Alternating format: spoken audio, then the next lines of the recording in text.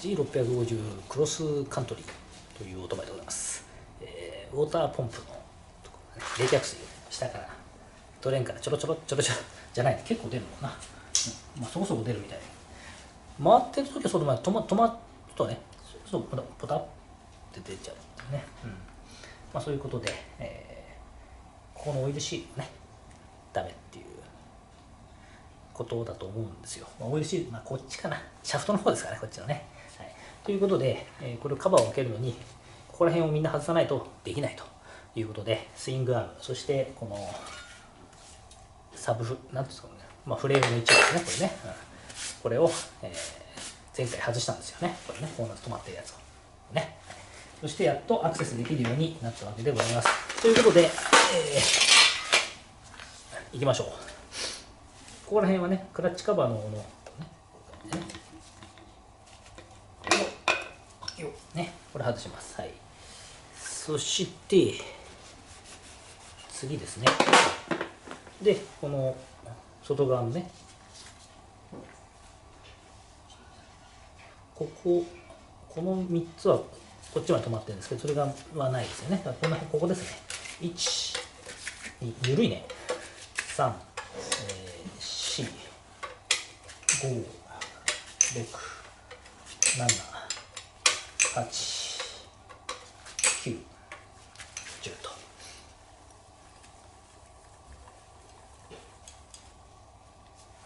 ここなんかあるのあもしこれ冷却水のなんかあれですかね？一箇所ワッシャー入ってるんで道路ね、うん、でこれですね。F650GS とかあったじゃないですか前ですね。あれはオイルパイプがこうこういうふうに走っててあれはあれで大変だったんですよ。うお大変だなこれと思って。特にクラッチカバーね開けて。だクラッチカバー全部一体式になっちゃったから全部は結局外すことになってましたけど。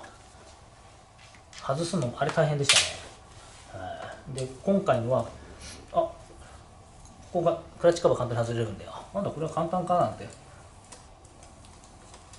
思ったら簡単じゃなかった。さすがですね、まあ、やりがいがあるというね。いいじゃないですか、ね。まあ、うちとしてはね、お金になるっていうのはやっぱりいい表現よくないなこれな。よくないね。うん。やっぱり距離走ってると、うん、トラブルこういうところが壊れていくみたいですね、はい、ただ一回やって直しちゃえばしばらくは大丈夫。ね。しばらく大丈夫。しばらくっていうのは4万キロぐらいですか。大体これ4万キロぐらいっていう、うん、前キロ、えー、前後で、えー、っていうのが寿命っていうねよく前の F6 では言われてましたよね。でさらにこれの場合は、えー、前期前期型だとこのクラッチカバーというのがそうクラッチカバーカバー側がここが全部アルミでできちゃっててここもアルミなんですよ。いやこれが入るとこね抜き差しするとこ。で減っちゃってここがでほんのちょっとこうクリアランスが広がるとね隙間隙間が広がってこうガタが出るとこれを引っ張ってクラッチ切れない。クラッチ切れない状態になっちゃうんですよ。微妙につながっちゃってる。そう。でじゃあ遊びをなくせえじゃないかでもそれはそれでちょっとおかしいでしょ？だからダメってことで。で対策品になったんですよねここに。鉄のすりばいってんですよ。後期型のこのカバーは。今も注文すると後期型のカバーが取れないと思うんですけど。どうなんですか？これね。本来だったらね。行こう！みたいな、ね、響響くような感じしますけどね、はい、さて、えー、そしたらこれ外れんじゃないですか？ね。でこれをコイルシール再利用するからそのまままた戻すからここにテープの方かな。シールテープ。で抜いてまた入れると。いう感じでね。こっちのは少し小さくなってるからこのスプラインのところはね。だからまあうまく抜けば当たらないでしょうけど。当たっちゃうとね傷になったら漏れる原因になっちゃうよ。ということで、はい。えー、やりますか。ね。えー、っと戻せるかな。外すのはねバラすのって結構できるんですよ。問題は戻すんですよ。戻すの難しいんですよね結構ね。うん。忘れちゃいますからね。ねなんてね、はい、オイル吸い取るやつを下に敷いて、ね、こぼれるの分かってますからね。いやそういった意味では、うん、非常にいいんですけどね。壊れなきゃもっといいね、うん、そう。壊れなかったらもっといいんですけどまあねある程度仕方がない部分もあるのかなと、うん。まあ、思うんですけど。壊れないもちろん越したことはないけど壊れなかったとしても面白くなかったらね乗っててね。まああれでなんか仕事で使ってるとかそれだったらねあれですけど。壊れないのが一番いいでしょうけど、ね、今日はね数年後に販売店を3分の1にするっていうメーカーのつなぎが来てますよ。考えられないですね。今日本に2700店舗ぐらいあるんでしたっけ？多すぎるね。ちょっと多すぎるね、はい、でもね1店舗に1台ずつバイクね買ってもらえればそれだけでも2700台売れるわけでしょ、ね、いやいや年間10台買ってくれそれで2万7000台なわけですよ。少ないですね。少ないですね。このメーカーからすると大した量じゃないですね。はい。簡単外れるもうもう浮いてきた。さあオープン。おお。おいそっち行かないで。そっちやだね。想定想定内です。なんか一時ありましたね。想定内ですから。想定内ですみたいなね。ありましたよね。あれ何だったんですかね。想定内っていうのはね。やっぱそんなこれ素直に簡単にそれそれだけ取れない取れないんじゃないの？なんか引っかかってるとか取れた。はい。全然切れずに取れた。でも変えないとね。これは変えた方がいいんですよね。綺麗に取れたなんて。綺麗に取れた。昔ねいろんな CM ありましたけどね,、うん、ね一時期やっぱりこういろんなね取り立て取り立てっていうんですかね。イメージがいろんな人使ってましたよね。これこれ抜くんだよね。これただあれ抜けないよ。どうしようかな。これはまってるだけだと思うんですけどここがこねこの。回りましたよ。あれ？オイルシール入ってないじゃんこれ。オイルシールどこにあるんだよ。え？どこなのこれ？あこの中か。あでびっくりした。オイルシールねえじゃんとか一瞬えここの奥か？なんて一瞬思っちゃった。バカですね。この中ですこの中この中いややばいよこれ。これ抜かなきゃいけないんだよね。抜けないですね。できたみたいなね。やられてる。サッカーのね。白いなんとかとか言われてたね。ね、はい、あとあのあありましたね。つばはき事件とかね。数がね PK でこう一気にパッパッてペッ回だったかなペッってね。でレフリー問題とかね。いろいろありましたよね、はい、まああのでもねやっちゃダメですよ。僕でき一人でできたんですけど。まあ初めてだねなんとかねありましたよね。昔そうしても多かったですよね。あれ何年ぐらい前だろう。平成に入るくらいですか。入る前ぐらいですかね。景気がいい時の話ですかね。ありましたよね。さてこれをどうやって抜くかだな。はまってるんですよバキってね、でピンがピンを抜かなきゃいけないんですよピンを、ピン抜けばですけどなんか綺麗ですね。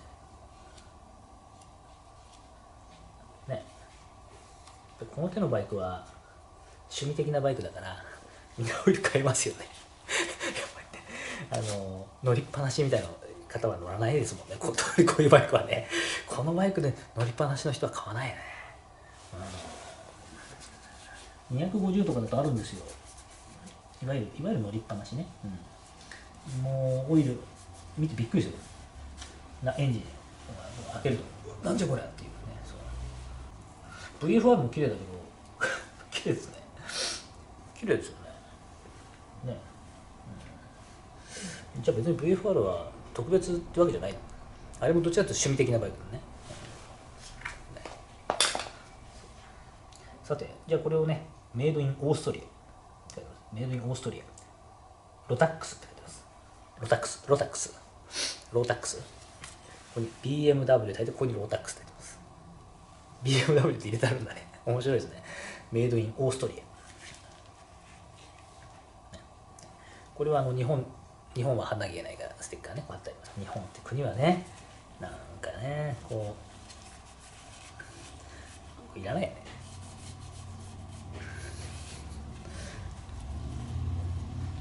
知らないし知らなくて分かんないじゃん。書いてなかったら分からないじゃないかっていうかもしれないですけどそれ分かんないし乗んない方がいいよねっていうオートバイってそういう感じもしますけど。だってこれ車だったら乗りながら見えるけどオートバイまたがりながら見えないからこれ。ね。いろいろ考えさせられますよ。私はねああいうこうそうしましたらね。抜けました。ね。こんな感じです。はい。そして、まあ、ちょっとピンがね、ポッと先に抜けちゃったんで、ここにピンがこう入ってて、ね。こうやって。で、さっきのこれがはまってて、っていうことですね。で、ここにワッシャーが1個ありますから、ね。はい、さあ、そしたらこれがね、反対側に抜けるという仕組みでございます。いきますよ。1、2、あれ、抜け。よし抜けました。ペロ、ね、抜けましたね。はい。そうするとですね、はい、オイルシールがこんな風に入ってます。えー、2つ入ってます。ここに。こここあの 2, 2つね、はい、オイル側オイルが漏れないように出てこないようにこっちは水がいかないようにね、はい、2つ入ってます、はい、で、えー、見てみましょうよね。どうですか？減ってます？あとはついてますけどね。ちょっと拭いちゃいますよ。これは純粋にオイルシールがじゃダメだったんじゃないの？ああへねそうなんでね。ここのとこ減ってますよほら。ね、当たってるとこね。ピカピカになってますね。そこだけね。回転してね。でもそんなに減ってないね。F6 の時はねすんごい減ってた。えっ？てぐらい。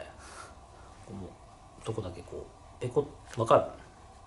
明らかに減ってまあこれも減ってるね、うん、まあ、これしょうがないですねこれね。そういうもんだということでね。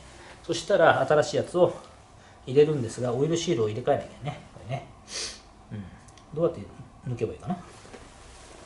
破壊破壊だですね。で新しいやつは BMW 純正メイドインチャイナ。と時計がないないですあのアドレスもねそうですけどアドレス125ね、うん、チャイナ製でしょ？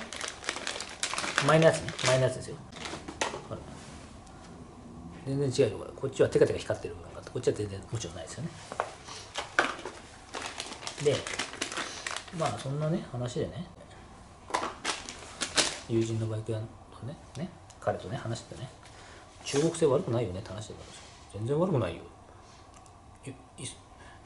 それでだからアドレス125ねあるじゃん。でもまあそれはいいんだけどトゥデイだってさトゥデイ中国製じゃんトゥデイ初めて出た時さええー、と思ったけどさあれ壊れないあれ全然壊れないじゃんって。っていう話になってね。中国製全然悪くないよね。よっぽどスマートデュオあれ日本製とか言いながらさ 壊れるって言うんだよ。でもねスマートデュオすごいですよアルミフレームだから。まあアルミフレームならいいってもんじゃないけどね。アルミ使ってりゃいいと思うんじゃない。一番重要なのは壊れないってことだもんね。ああいうの乗る人にとって。アルミフレーム別に使ってなくたっていいよ。って思いますよ、うん。そう。え何ですかそれなんかいいすごいんですかいや軽いんですよ。ああそうなんですか。そんなことはある意味どうでもいいと思いますよ。重要なのは壊れないってことですよ。トゥデイ壊れない。ででもねディオダメなの。壊れないんだけど人気あんまないね。同じ時に出たディオとトゥデイよりもちょっとあの高い高かったけどただのディオね。AF6 2でしたっけ、ね、あれは人気ない。あんまりね。トゥデイは人気あるやっぱりトゥデイ可愛いんだよ丸目がね。丸目って昔からほら丸目可愛いじゃないですか。可愛いですよね。それなのにえ？じゃあ丸目なら何でも可愛くて売れるのかって言ったらレッツ・フォー・パレット売れない。人気ない。人気別にないんですよ、特別ね。なんかうおいいっていうあれはないんですよ。この辺りがだからね続きなんで面白いですだからアドレス120もねアドレス120壊れないと思うんですよ、うん、スウィッシュの方がなんかちょっとあれっていうのがあるみたいですけどね、変ですね。やっぱり中国いっぱい作ってるから あのそういう意味ではやっぱりクオリティは高くなっていくんじゃないんですか、うん、全然作ってない、ね、例えば日本でね日本製ですって今やってもね新 今まで作ってなかったのに全然。いきなり日本製ですって言われても信頼という意味ではねなんとなく怪しいみたいな感じにならないですか？ならない。大丈夫。ね。まあ何でもいいんですけど個人的に別にどこどこ製でもいいんですけど壊れなきゃね、うん、そこなんですよ。壊れるのダメだよね、はい、よし抜こうか。何抜こうかな。どうやって抜こうかな。今考えてます。奥のやつとかね。手前のはまだいいけど奥の音入ってたか分かな、ね、このオイルシールどこなんだろう、えー、10の26の7です。NS えー、これどこので ARS どこでしたっけ？難しい。よし。そしたらじゃあこれちょっと。抜いて入れ替えます。とりあえずこのこっち側をねこう外しました。中やっぱこんな風にね汚れてますね。まあ水が入っちゃってね。冷却水側が来ちゃうでこう見るとねこうなってますよね。でここにちっちゃなの分かりますかね？ここに。小さい穴。ね。でここの穴が、まあ、ここに、えー、がっていると。いうことですかね。こうなってこうなってね、うん、でここ。でこっち側にちょっと、まあ、通路はこうなってます。まあ、要はここね、ここ。ここの穴から出る、排出されるようになってるんですよ。冷却水が漏れてきても、エンジン側に行かないように。うん、ここに。で、エンジンのオイル、えー、エンジンオイルが仮に持っても、それが冷却水側に行かないように、ここから排出するようになって。そういう仕組みでいいですかね。いいのかどうかわかんないけど、今はね、ほら、外に出しちゃいけないとかいうのありますからね。なんかね、まあこのこの辺りはいいのかな？ガソリンとかはねダメですよね。外に排出しちゃね、うん、緩い。簡単に抜ける。はい、えー、簡単に抜けましたけどなんかもうボロボロって感じですね。これが4万キロね、えー、回り続けた、えー、ウォーターポンプのオイルシールの慣れの果てでございます。冷却水ほらこっちに行ってるもん。少し。どっちもだからダメなのね。抜けてるのね、はい、でこれをきれいに拭いてで新しいのを入れます。なんか減らない方法ないですかね。ベルハンマー。ダメダメですからね。ベルハンマー下手にベルハンマーでやめた方がいいんじゃないかね、シャフトが減ってっからね。オイルシールだけだったらねこれだけ交換すればいいんですけど。それ買ってね、うん、それだったらそんないくらもしないと思うんですけど。何百円ですよね。2つ買ったってね1000円もいかないんじゃないですか、うん。ただこれだけだなシャフトがな。これステンレスかなんかですかね。鉄かな。こうってやつですかね。ここの部分はベルハマーで歌ってもいいね。まあね、でもねこのとこほとんど減ってないんですよ。金属とか当たってる部分は。不思議なもんで。でこれこうでしょ？でこうだから。こう入ってて穴がこうでしょ？穴がこうでしょ？これがそうなんですよ。でこれ抜くでしょ？ほらね。穴の要はこっからここの間がアルミのあれなんで。でここの光ってる部分がオイルシートなんです。当たってるところなんですよ。そこだけが減るんですよ。すごいですね。ね。これは設計の問題。設計に問題があって。何偉そうなこと言ってんだよってね言われそうですけどね何が何か分かってんの？って。であのドイツ語では何て言うんですかね。難しい難しいね。そういういいバイクっていうのは罪ですね。ある意味ね。乗って楽しいっていうねひどいよね対策しないもんね。F 6の時にだからこうだそれが起きてるのにずっと同じの使ってるんだもんね、うん、ちょっと問題を感じますがいかがでしょうか。ね。あんまりね何するとまずいですから。詰まってないよねここね。こあのね穴詰まっちゃったら大変ですよね、うん、つっつくもないかな。エアーで飛ばすか、うん、よしそしたら新しいオイルシールをこれねここにぶち込んでそして戻します、うんはい状態はでもいいですよね。ね。見た感じね非常にね。なんか綺麗でね。ですよね。ただまあ最もここ結構脱着してますけどね、はい、全然ほらここもクラッチのハウジングっていうんですかね。アウターのガタ全然ないしガタガタになってないしね。非常にねこの辺りはいいじゃないですか。ね、うんさあそしたらですね、戻します、まず新品のガスケット、はい、取り寄せましたよこれは。もちろんね、うちは BM のお店じゃないんでね、そう。でこれ新しいのね。食いましたんでね、はい。これは古いやつ。古いオイルシール。ね、はい、新しいのでやりました。そしたら今時でお電話いただきましたね。なんかあのそちら KRV が置いてあると思うんですがあありますね。でなんかあの最近 KRV を買ったんですが。そうですか。なのでちょっとカスタムの、ね、パーツをうんたらかんたらですねでちょっと見たいんですがああどうあの鎌ヶ谷なんでどうしないですね。どこで買ったんですかね善田木さんか。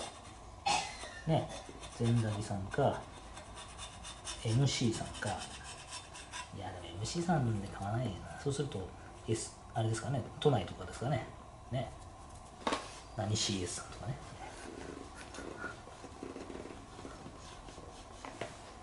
まあね大手ですから。やっぱりね。安心感はあると思いますけどね。嫌みったらしく言ってないかってついこの間なんか大手さんなのに保証修理しないとか言ってるじゃないかってねでも大手さんの安心だと思うんですよ保証修理は別としてね別に別にお金払えばやってくれるだろうから嫌だよねまったくねいろんなことがありますけどね、うん、まあありますよねご本人がねそれでよければもう何のあれもないですねとしてもね。ただうちに来て文句言われてもね。いやそれはつって。ただやっぱりね他で買ってうちでクレーム処理するのまずいから。結構ね。うちはそういう店じゃないから何でもかっても。しかもうちがみんなクレーム処理してると睨まれるでしょ。なんだよ金吾から睨まれたらうちはどうしたらいい？ね。ね。嫌ですよ。ね。まあいろんなことがありますね。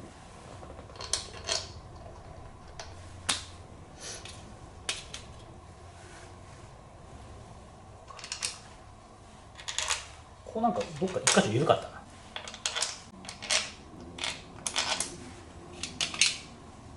クレーム処理は割り合わないですからね。そんなに。率先してやるもんじゃないですからクレーム処理って、うん、おかしくないか。うちで売ったのは別で他でね。ただ私が気づいたこれおかしいですけど直しませんかっていう提案しますよ。これ多分クレームで直せますって。ね。だからお客さんが「おいお宅のマイクよ」って言われたら「ちょっと待ってください」うちで売ったバイクじゃないですよね。ったとこ行ってください。じゃあ「お宅よ」天狗の思い出なんだろう。いやそうですけどつって「直さんかいあれ」みたいな言われたら困っちゃうからね。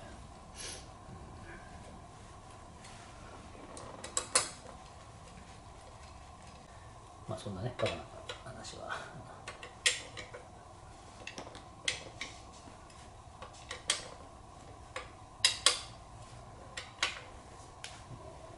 そうやってね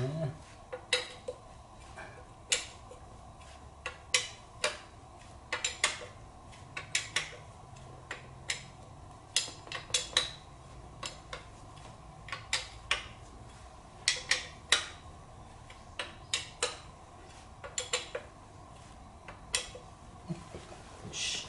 そしたら、ね、このカバーをつけちゃいましょう。ね。早く早く先につけちゃった方がいいねこれねカバーねここねそうここがね難しいんですよ地味に。そう。これがねパッと動くんですよ。だからこれはそうでもない。ちっちゃいから。F6 の時は大きいやつそのまま入れるからえー、入らんって。しょっちゅうね嘆いてた気がします。はい。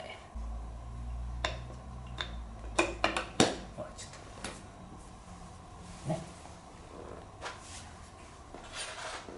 どうやよくわかんないですけど、はい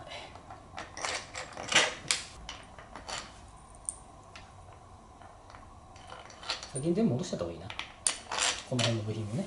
そしたらあこれ。違うじゃん。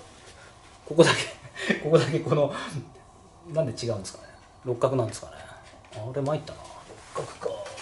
そう。これちっちゃいね。これダメです。合わないですね。大きいね。ね。こんな感じね。他店さんで購入した PRB 私は勝手にいじって大丈夫ですかね。クレーム来ないですかねふざけやがってよつって。嫌ですよねそう。うちのうちの客取り寄ってみたいなこと嫌だ。もんね頻繁教えてそちらで買ってくださいって言った方がいいかな。ね。うちはね普及させるのが目的で。違うんだよ。違う違いますよ。うちが儲けるのが目的です。何言ってるんですか。普及普及ももちろん普及した方がいいですけど、うん。マフラー作りたいんだけどね。マフラーメーカー多分相手してくんないからね。はあっつって。何言ってんのこの人ってね。あすみません。今そういうのはやってませんってって多分軽くこ足流れますよね。もしくはすごい金額請求されてね、うん、あ1本10万ぐらいですかね。つって。スリップオンでね。だったら作ります。つって。ええっつって。いや売り値がそれはご自分で設定されればいいんじゃないですか。ええっつって。そんなそんなとこばっかりない。そんなこと言うとこないから。いや普通にちゃんと真摯に答えてくれると思うんですよ。って100本単位作ればそんなにはしないんじゃないですかってね。いくらぐらいだと思いますよってね。それを金庫純正で売ってもらおうかすごいね。ずいぶんふざけたこと考えてるね。金庫にいっぱい入っちゃうからな。うちにうちの独占にしたいですよね。みんなうちからつい本音を言っちゃった。チラチラとね本音が垣間見えるね。本物もねえやつだね。クラウドファンディングで。クラウドファンディングで募ればいいんでね。そう。問題はねここはねみんなねこのこういうバンドなんですよ。引っ掛けるだけ。ちょっと心配なんですよね、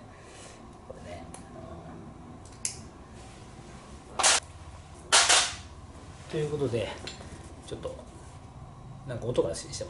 エンジン音聞こえますね。こっちに向かってるんじゃないかという気がするんでね、はい、この辺で一旦戻しておきます。ここはねはい。できましたよ。ね。